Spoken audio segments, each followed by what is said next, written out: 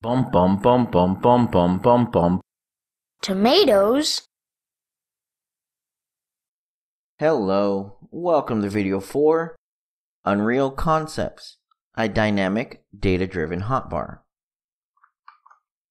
Unreal Concepts are a way of just simply showing a concept inside of Unreal Engine 4. This is not going to be a complete project or a complete system. This is just going to be showing how something may work. Let's get started. Our example here is a dynamic data-driven hotbar. Maybe something you might see in a massively multiplayer online game, or even something as simple as like Overwatch, which has a few buttons. It has a basic layout, such as a left and right button, and then maybe some ultimates and things like that. But not every character has the same buttons, same skills, or even the same amount. Some of them are missing. So you want to drive that dynamically with data based on the player. If I show this example, what we're going to see at the bottom of the screen is 12 hotbars, and I've got them labeled with numbers and a few icons in them. All this information, the number of bars that are driven, drawn, the number for the index, the icon, and even the name which isn't displayed is all driven by data and is all user adjustable. Let me show you. So we have here like our number of buttons. If I change this to something like 5 and hit play, you notice we have 5 buttons. I could change this to 7 or 8. We now have 8 buttons. And it's going to fill them out based on the skills that we have set up for the player. Let's go back to 12 and make it easy on me. Now after that we have a player hotbar. This is the index number of our skills that the player has on their hotbar. As you can see here, I have 0, 1, 0, 3, and 4. Now this is referring to my skills. Skills is an array of skills that I've created. It can be in an external file, it can be wherever you want, but for this example, I'm using it as an array that basically holds my skills. These are the skills that are accessible in the entire game. It is our database of skills. And it contains a name and an image. It can, of course, contain more based on your requirements, but for example, we just need a name and an image. I don't even need a name technically. But I can set up all of my skills in here, as you can see on this list. I can even add new ones. So let's go ahead and add a new one. Let me go ahead and add a sixth member here. And I'll name this one um, Dire Bear, because why not? And I'll go ahead and give this one a picture of um, I guess we'll go with this, bad pylon. So now we have a new skill, and I could assign that to my player. So let's say my player, this is skill number 5, wants that play wants that skill. If I run him now, you'll show nothing here. I could have something set up where you can assign keys based on a controller, for example like Elder Scrolls Online, and uses the gamepad, or maybe you have drag and drop from a skill list. It really doesn't matter how you do this, it's up to your game. For our purposes, I'm going to go ahead and assign it to skill 0. So let's say our player has learned it and it's now on their first slot. That's going to be skill 5 on slot 0. Now when I run the game, it's already there. It's set up. Everything is being driven dynamically. My interface is being created dynamically and it's filling everything out.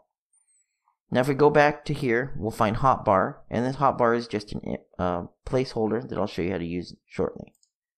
So let's run over the code on how this works. I have two things that determine what we're going to use. The first one here is a UMG widget I'm calling dynamic hotbar button. This one's pretty simple. We have an overlay so I can stack things on top of each other. I have an image. Now this image is this background. That is why when I run this, these blank ones have this little red border. It's to indicate that I have a hotbar there but nothing's assigned to it. It's personal preference. On top of that, I have a background image. This background image is where we're going to fill in the icon that you see for each button. And then I have a text block I simply have in the top right corner called this text block so I can assign our number. Again, everything's personal preference. I could add another one at the bottom and fill in the name of the skill, for example.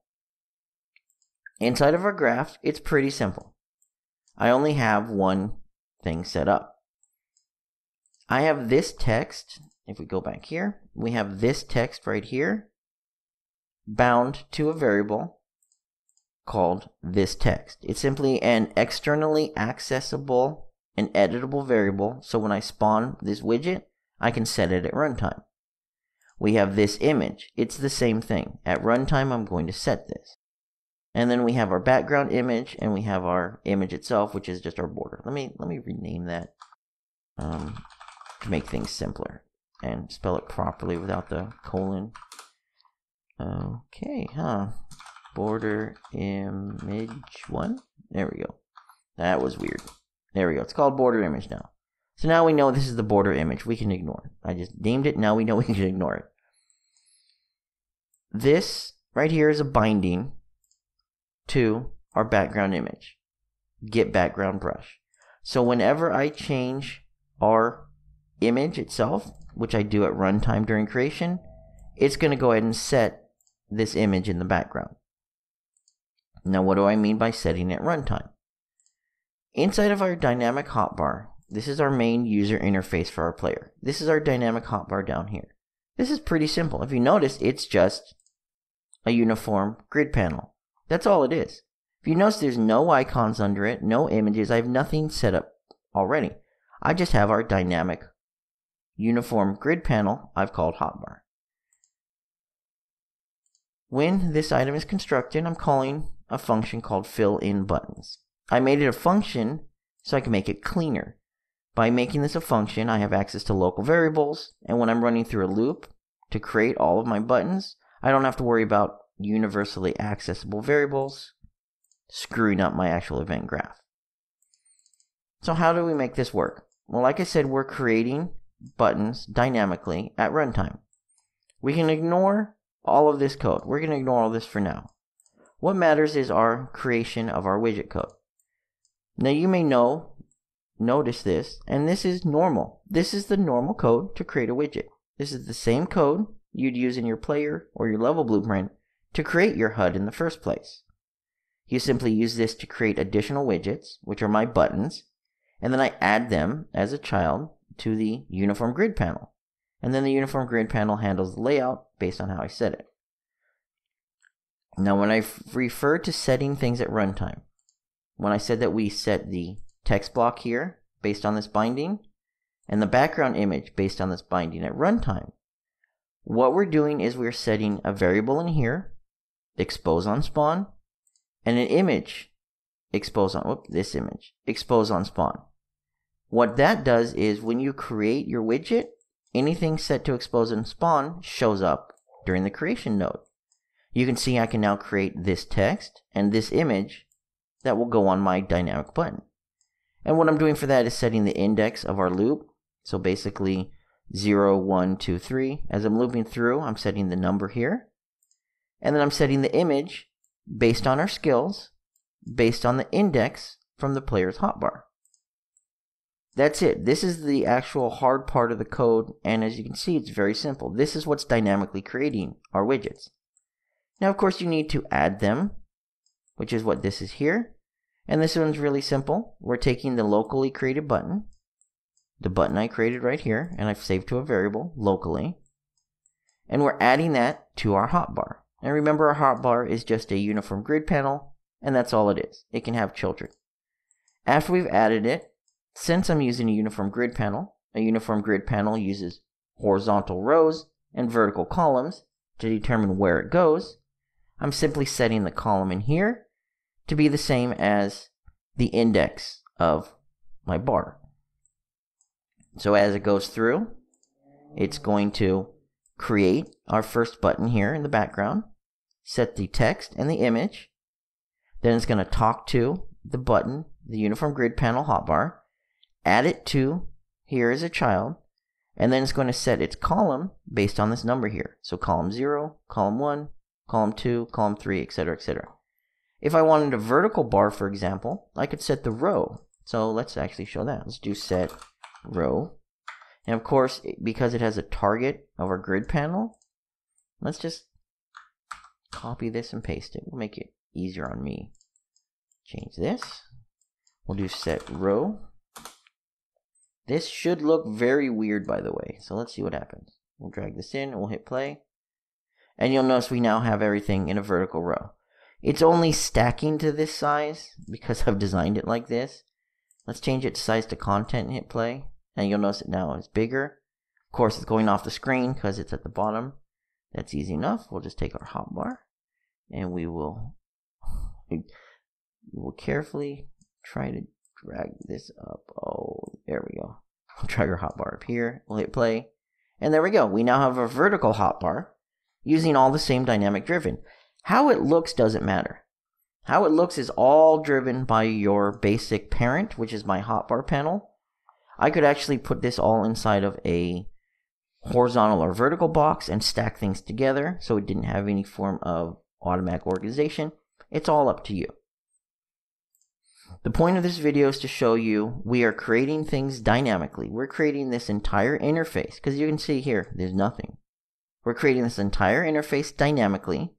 We're using data. In this case, we have a variable called the player hotbar, which simply holds which skills they have. And keep in mind, we can have more skills. Here's, I'll go all the way up to 12. And then we can start filling in 1 and 1 and 5 and 4 here. Whoops. We'll go 5 5 here. Now we have 12 of them set up. Let me go ahead and take my this and turn it back into a horizontal mar. And then we'll run it. And you'll notice now I have all 12 of them set up. All based on just the numbers. So the player gets something new. The player rearranges their skill bar all you have to do is make sure you rearrange this one variable to properly pull in the IDs based on our skills, and you set things up. You have new skills added to the game, you simply add them to your list, your designer fills them in properly, you now have new skills. This can all be driven by external files, CSV files, data tables. As long as you can get access to this information, and then you can, using that information, you could pull in your appropriate text, images, things like that. Here's an example. Let's wrap this up just showing a little bit of a change. Here's my button. Let's see how hard this will be to do. Let's grab another text and drop it into there. We're going to make this text centered at the bottom. Uh, let's see, in the middle. Centered at the bottom in the middle. Let's see what happens when we hit play. And we have some text there. Okay, so we have some text showing up in our button here and we wanted that set at the bottom. There we go. That's what I wanted. Centered at the bottom. Okay, so we have some text center at the bottom, and you can see it's running on everything now. We're gonna name this one to the. Um, we'll go with this is the this. Uh, we'll call this one the name text block, and we'll set it up as a variable. We'll go into our graph, and we'll make a new variable. We'll call this one the name text. We should probably rename this text to something more appropriate like activation number, skill number, hotkey number, something like that. But for example, we're just going to do this, and we have name text. We make sure we're going to make it editable and exposable, so we can edit it when we spawn our node. Go back into here, where our text block we're going to bind now to our name text. And we've done everything we need to inside of here. We run this, you're still going to have the same thing. But it's all going to be blank now. Why is it blank? Well, look, we have a new node here called name text and it's blank. So we have a name value I already have here. Of course, it's a string because, well, that's what I decided to do. We'll go ahead and hook it up and we'll hit play again. And there we go. We have blank for all of our blank ones. We have our names that we've set up Fireball, Dire Bear, Cold. Of course, hard to see. That's, you know, someone with more artistic ability needs to fix that. And you have now, dynamically driven, within a few changes, you now have the name showing up. If you want to do things such as a mouse over tooltip, you'd create mouse over tooltips, and then you could dynamically drive that based on all the data. If I can stop clicking on the wrong things, you could dynamically drive all the data from your skills database. Now we have, you know, to show how things are set up and everything's dynamic here, you don't have to show any of this stuff. You could have things created vertically like I showed. I'm showing 12 bars no matter what because that's the number of buttons I've set up. You could design it where it only fills in however many abilities your player has and it doesn't leave any blank spots. Again, personal preference. Let's say I wanted to get rid of blank there. So we have name text. This one should be pretty simple. Let's go with if. And how would we do this? If our name, if our skill value, okay, we'll do a select. This is super, super simple. We're going to go with a select. Our select is basically going to fill out what we want based on our input option. And our input option is going to be an index, which we have here. So if our skill index is 0, there we go. If our skill index is 0, we're going to return back nothing. So we want our text. So we're going to want this, this is the text, right? Yep, okay. Bear with me while I figure this one out on the fly. Let's move this over a little bit. Okay. And then we're going to plug this into here, like that. Okay. So the output of whatever we put in here is going to go here. This one will be option, oh, no, because the skill index. So we're not going to do, we're going to have to do a boolean. So we're going to change our pin type to a boolean, like that. There we go. And we're going to pass along this into here. If it is, okay, so if it's false, we'll go into there. Like I said, bear with me. This is coding on the fly. And if it's true, we're going to pass in nothing. We'll do an if statement here. Wow, this thing is, oh, I'm going to have to rearrange some things horribly, horribly wrong here. Oh, we don't need to do an if statement. We just do an index here. So if this is equal to 0, bam, just like that. If it's equal to 0, we're going to pass in this value, which is a blank, to our name text. If it's not equal to 0, that means we have a skill other than our blank skill. It's going to pass along that. Let's see what happens. There we go. I got to clean up the code, obviously, but what it's doing is it's determining if it is a blank skill, and it's showing nothing for our picture and nothing for our text. So you have a blank there. We do have technically a widget there. We have our widget with just the border and the hotkey, but it's blank. And of course, you could do the same thing if you got really confused by your player. Or this text right here is just data driven. It's pulling the index and printing it out. You could do the, run the same thing. Why not? You know what? Why not? This is fun. We'll drive this over here, and we'll go to here. So if it's if we're going to do this a true false index, if it's true, we're going to want to do that. So we're going to drive this based on our skill index. So if our skill index is equal to 0, we'll copy these again. Hey, move this down. Look at all this fun code. This is why you make things a mess and then you clean it up. There we go. If our index is 0, uh, we're going to want this on false. Here we go. Boom. So we'll do the same thing here. If our index is 0, as in we don't have a skill assigned to this, we're going to put nothing for our text at the top. And if we have something there, we're going to put our index. And there we go. Now we have completely blank buttons, just placeholders. We've gone ahead and dynamically created this. I didn't need to alter our, our UMG widget at all. I didn't need to alter the player skills at all. I just designed what we're going to show, and it's creating it at runtime. So let's say player has added a new ability, and now at 7, we go into our player hotbar. And let's say at index 7, they've all of a sudden learned skill 2. We hit play. Oh look, now they have acid. That's it. It's all simple, all dynamically driven. Hopefully you've learned something that, from this. All of this code, of course, is in the code repository. I'm going to clean this up a little bit before I commit it, make this a little better something like this, maybe collapse it into a, a macro or individual function. That way it's a little bit cleaner. And that is going to wrap up our Unreal concept for a dynamic data driven hotbar.